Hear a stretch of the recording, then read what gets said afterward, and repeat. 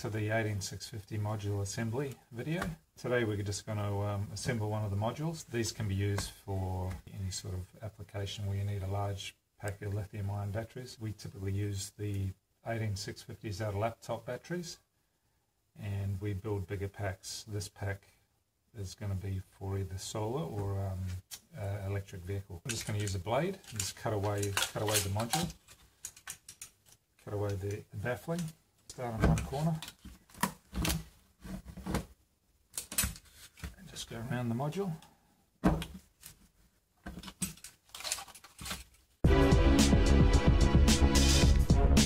And then we have to slice down on the corners. To put some pressure on it.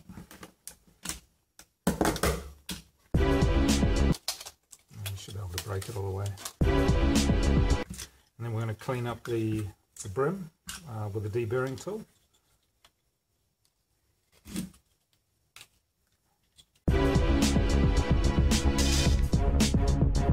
also the edges. And the next step is to remove these um, these supports. Just use some long nose pliers for that.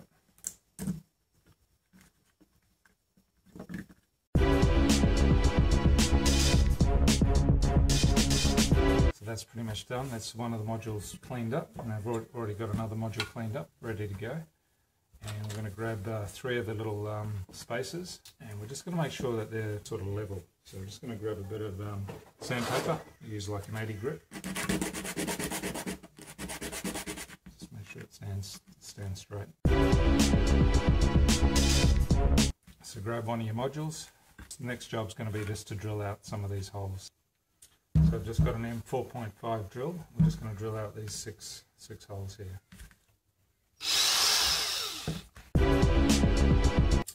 There's also four terminal holes to drill out and I'm going to use an M3 M3 drill bit for that.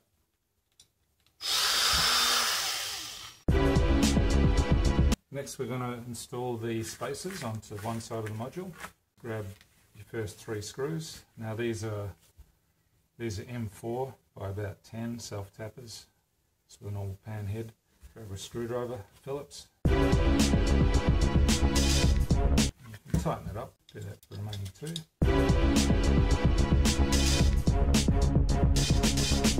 put those aside, we've got our 10 cells. And next we're going to clean up the contacts and put a put some insulation underneath the positive positive um, strip to keep the heat off the positive terminals and also uh, stop melting through when we solder in the center of these. Is to protect the cell.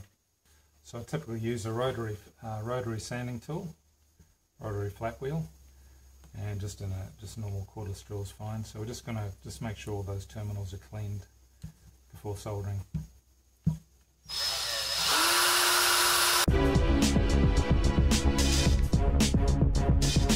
When you're sanding them, just make sure you don't come against the, the insulation on the top of the cells. Now we're going to install a little bit of uh, paper or cardboard underneath the positive terminal, again just to keep the heat away from the, from the top of the terminal when we solder. And so what we do is just lift up the strip a little bit so we can get some cardboard under there.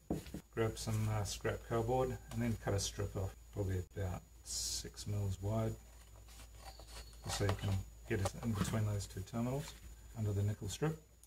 So just in, install it there. Actually, you can probably fold it if you can get two layers. A little bit thicker would be better. Just poke it under there and just cut it to length. Just repeat for all the cells. And careful when you're pushing something under here not to damage the, the plastic on the top of the terminal. And you can just push the nickel strip into the cardboard to keep it in place.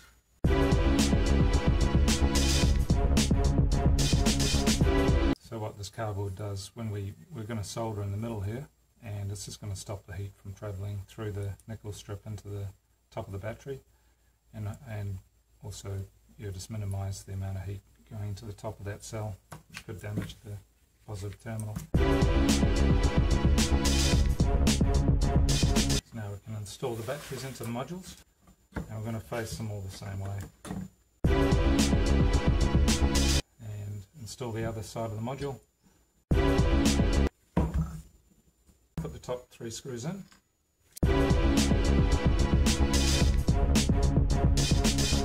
Next we're going to install some wires in the tops and bottoms to bridge all those into the one big parallel pack. So we're going to have 20 cells in parallel. So we're going to use some 10 amp wire and just we're going to strip back a section. I usually take about the length of the module and we're just going to strip that insulation off.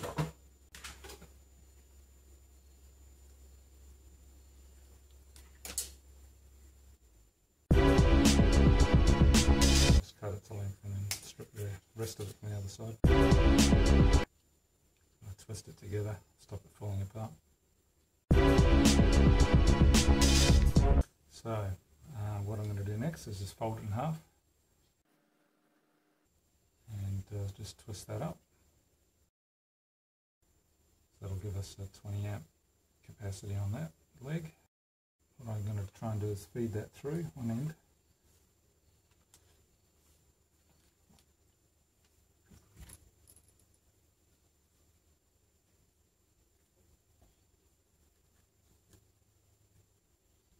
And we want the loop to, to sit over that hole, that terminal hole. So we're going to secure that with a uh, M, M4 screw later on. So we've got to get another piece of wire for the other side. And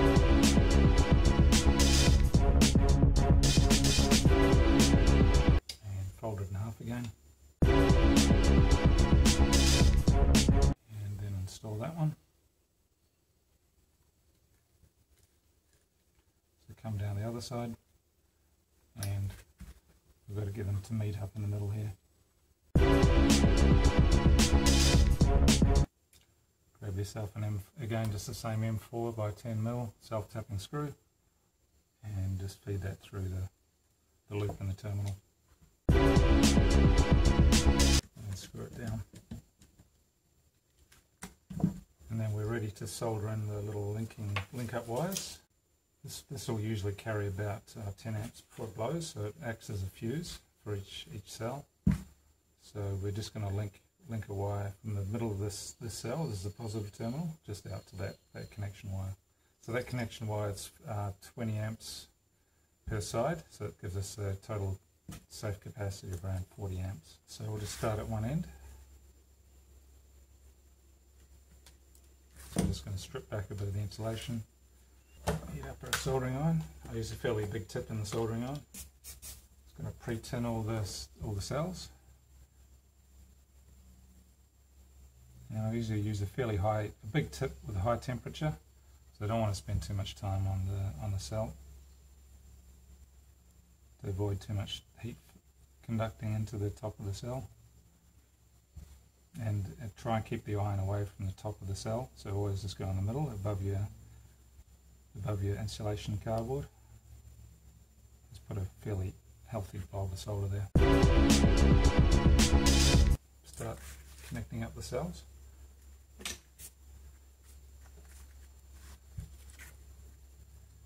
So just put your put your wire down there. I'm using a pre-tinned sort of a wire wrap wire. So it saves me tinning each each piece of wire as I go and then I usually loop the wire around a little bit so it doesn't I don't want it really being tight. So it's probably a good sort of 20 mils off the end of the terminal. Strip back a good 5-6 mils of the insulation. And then position it over the other wire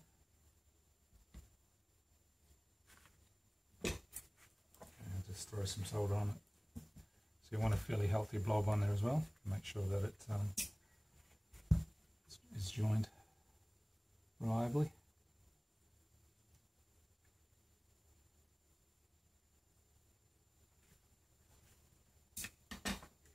So that's the first one done. And just repeat for the, the other nine.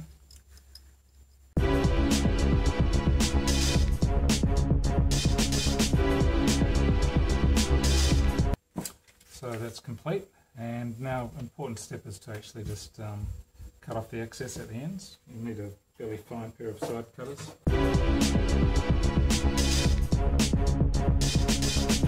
So that's one side done. Now we're going to repeat it for the other side and we're going to go on the opposite opposite side for the other side. Because when they link up it's going to they're going to crisscross in series. Next we're going to assemble the 18650 modules, seven of them, into a 7S pack, which will give us a pack of uh, 24 volts, 20 cells in parallel. So it's 7S20P. So we're going to start with pre-cut some 6mm um, M6 rod. These are about 400 long. You can do them shorter, but I usually leave a bit of extra so I can mount it. I can um, bolt it to something. So these are 400 long, four of them, eight washers, eight nuts, and 24 spacers. The spacers are really more for um, high current packs, but these may go in a Toyota Prius later on. So I'm just going to put them in just in case, and we and um, they allow for the air to go through, so you can mount fans on the end to blow air through to cool the cells if you're drawing a high current out of them. So we'll start with the with one with the first module. So we'll put um, put one of the one of the spacers on the on the rod, poke it through, throw a washer on there, and a nut, and just get it sort of flush. And we'll do that for the other other three.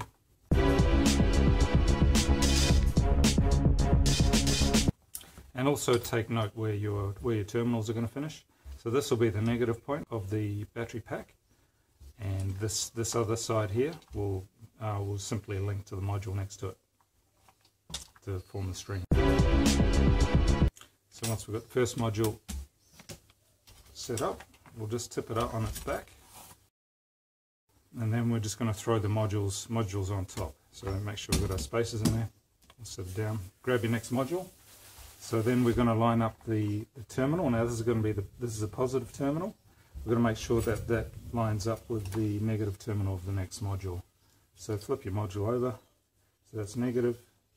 So this this this needs to line up with this screw. So flip it around and then just throw it on top and drop it down.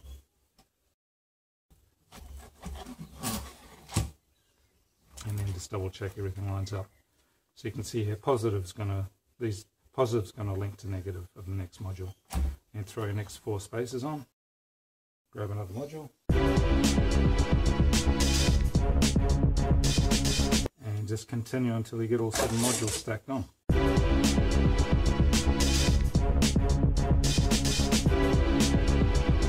And then throw on your, your final four washers. And then your, then your nuts.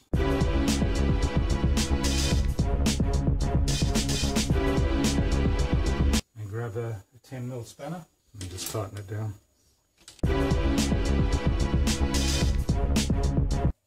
And that's the pack complete. Next we're going to start making up the 40 amp interlinks between the modules and we're just going to use uh, two 10 centimeter pieces of copper wire, 10 amp. This has just been recycled from the computer power cords um, and strip the insulation. So take two 10 centimeter pieces and we're just going to twist them together to form a 20 amp 20 amp strand of copper and then that's going to get doubled up to get to the 40 amps. So fold it in half and then twist that up. So that's one done. We need to make two of these. So I'm going to strip some more wire.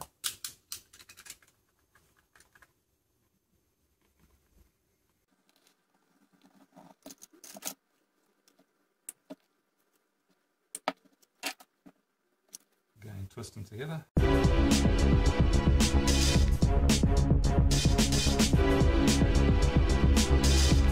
Now we're going to, going to tie these together we're going to tie it together with a piece of 10 amp wire again. This is 1.8 meters. Just again the, the 10 amp appliance wire that we've recycled.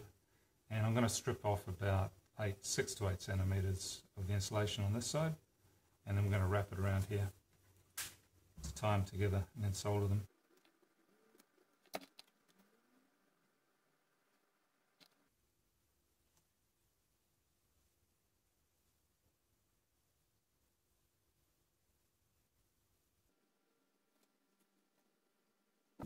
I'm going to hold that in a soldering block. Preheat the soldering iron.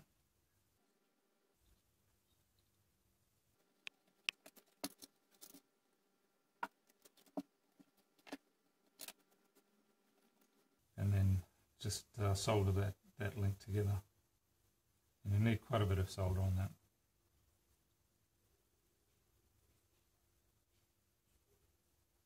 Let it flow all the way through the join.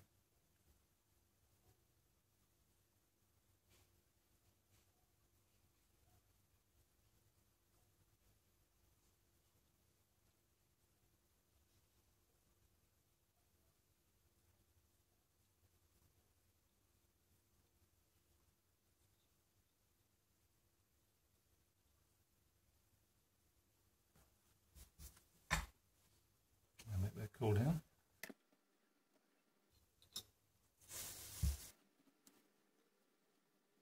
Still a bit hot. I'll just try and trim the ends.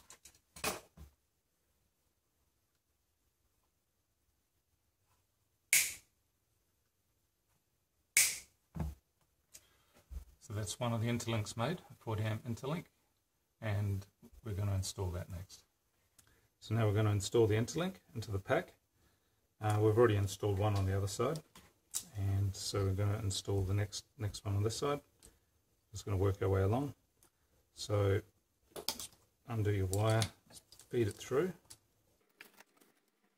then undo your two screws. And you may need to, because it's quite a thick link, you may need to just pry your module apart in the middle there just so you can get it in easily. Just bend your bend your loops over and then just put your screws back in.